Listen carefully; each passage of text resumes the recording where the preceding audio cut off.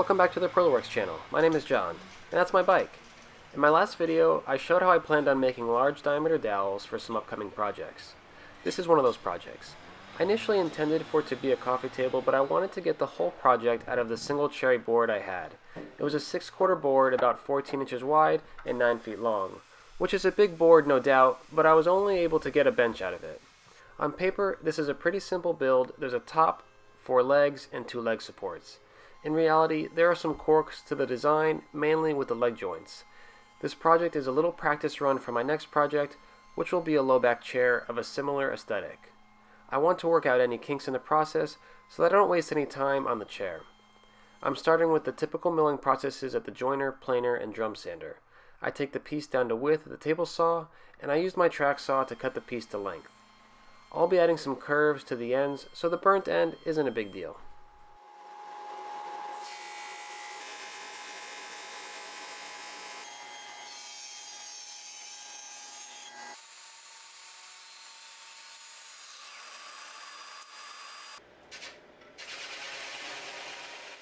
I initially planned for these leg joints to be a modified version of a Maloof joint. There are some difficulties in mimicking the joint with dowels because this joint won't be sculpted afterwards. Instead, I want to reinforce each leg with a long dowel. To start, I created a template which I'll use to route the recesses in the bench top.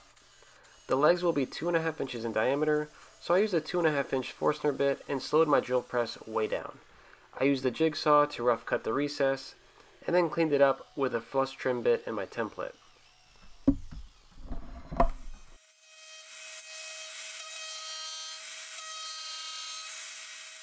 There is a good chance of blowing out part of this recess, so at the end I make sure to do some small climb cuts.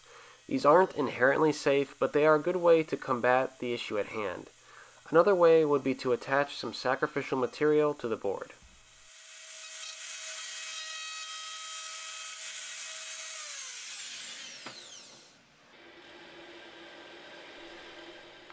I drilled the leg blanks for the reinforcing dowels before turning them. I think I figured out a way to drill two holes on a dowel that are perpendicular to each other, so I might skip this step next time. Anytime you see me drilling a hole by hand with a drill is a huge potential source of error, and it's something I need to work around in the future. I think a larger drill press and some better drill guides will help. After getting the blanks all ready, I can turn them in the shop-made jig.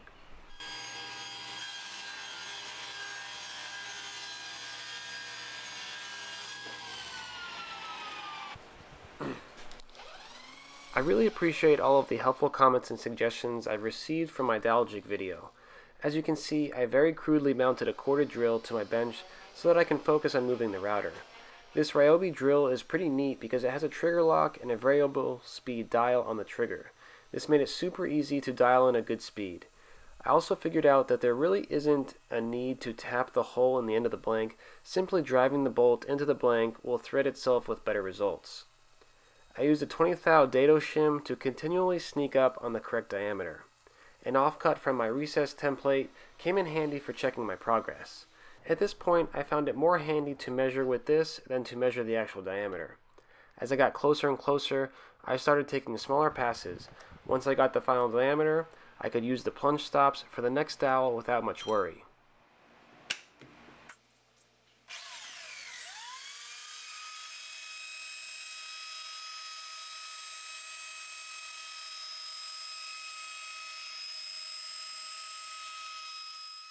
There's a very slight taper in the dowels from one end to the other, which is a little bit concerning.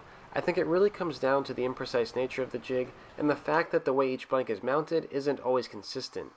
I was able to work around the inconsistencies this build, but we'll need to address them next time. I took one suggestion and used a hard sanding block so as not to create any peaks or valleys in the dowels. I ran up the grits and ended with some hand sanding.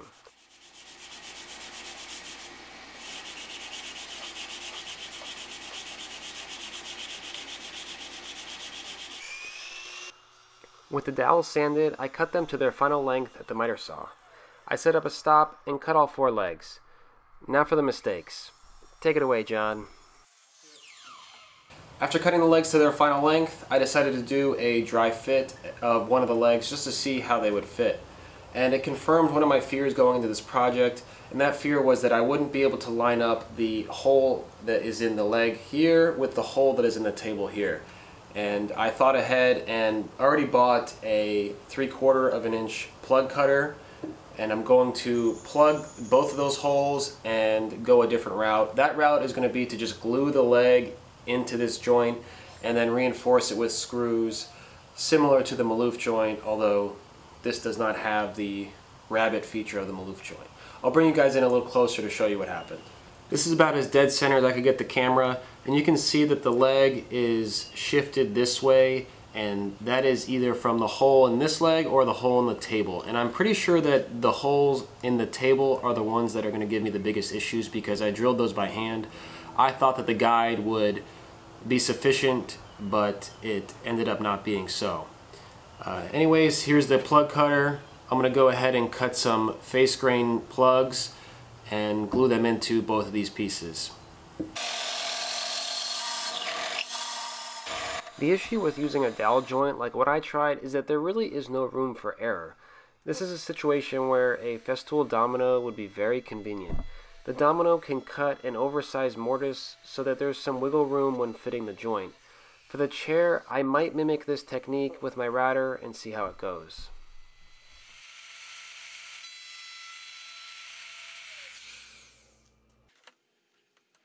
The leg supports were a good chance to try out an auxiliary tailstock. This new tailstock allows me to make dowels in various lengths without wasting too much material. One clamp was enough to hold it in place and I doubled up the material on this one so that it had a firmer footing on the floor of the jig. Edge profiles are always an important consideration when designing a piece of furniture. In this case, I added some concave and convex profiles to the ends using a flush trim bit and template. I also added a small chamfer to the rest of the edges, and this chamfer creates a nice contrast when paired with the dowel legs.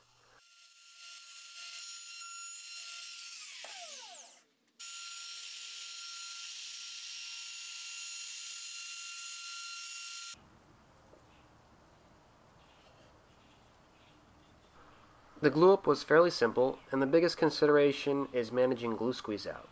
There isn't much chance of cleaning up glue on this type of build, and for that reason I really limited how much glue and where I applied it. I used a quarter inch piece of MDF to create the quarter inch reveal the legs will have relative to the top. A pair of clamps was all that I needed, and I checked for square and adjusted the clamps as needed.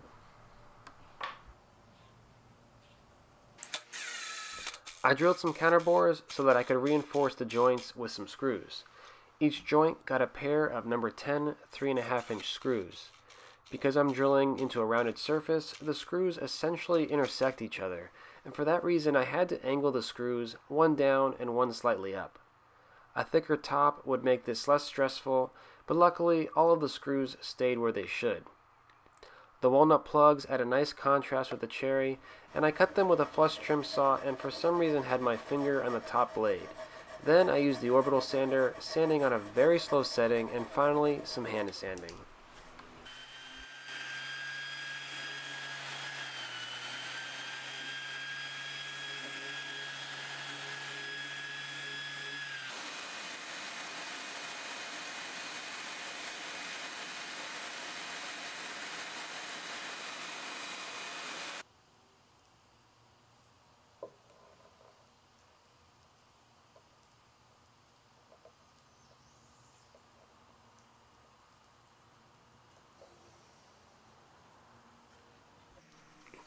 I forgot to mention, but I sanded all of the parts up to 220 grit paper, including raising the grain, before the glue up. And after some final spot sanding, I could move on to the finish. I decided to use Danish oil using a wipe on, wipe off method, and I applied three coats over a few days. I'm pretty happy with the outcome of the finish, but will probably apply something more durable if I sell this piece in the future.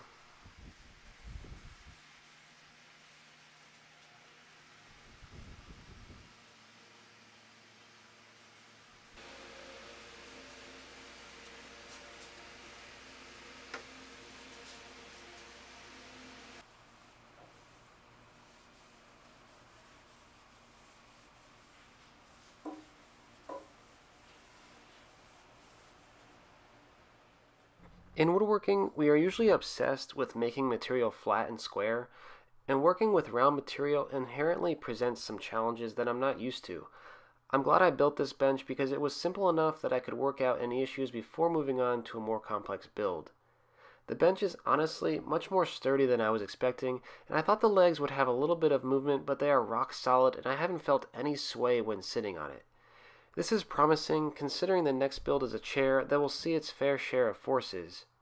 I may stick with the screws method, but I might also consider a combination of dowels and screws to reinforce the joint. We will see. If you have any suggestions, please let me know. I do my best to respond to everyone, and I appreciate the time you guys take to help me out. With that said, here are some photos of the dowel bench with a bonus at the end. Thanks for watching.